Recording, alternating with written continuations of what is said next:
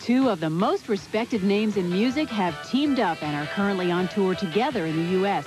Night Tracks is pleased to salute both of these gifted artists on our special Bob Dylan Tom Petty weekend. And these next two clips feature Eurythmics' Dave Stewart, who has helped both Dylan and Petty out in their most recent projects. Momentarily, we'll have a Petty classic. But first, here's Bob Dylan with When the Night Comes Falling from the Sky.